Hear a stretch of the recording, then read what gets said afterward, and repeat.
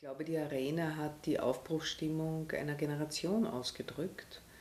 In Städten, in denen es eben man sich überhaupt nicht überlegt hat, äh, dass die Jugend vielleicht andere Bedürfnisse hat als die äh, älteren Bürger.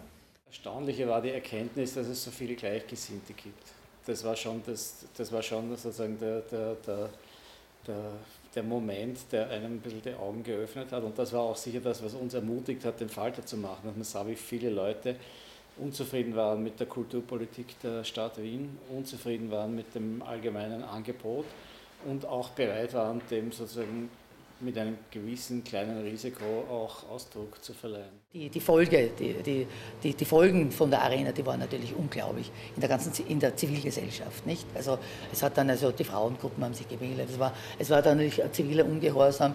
In, in kleinen Bereichen äh, hat es gespielt. Man konnte dann im, äh, im, im, im äh, gleich im Anschluss daran Zwentendorf verhindern. Nicht? Das, das war natürlich schon dann ein sehr, ein, ein sehr großes Potenzial, das dann da war und gesagt hat, alles lassen wir uns nicht ruinieren. Nicht?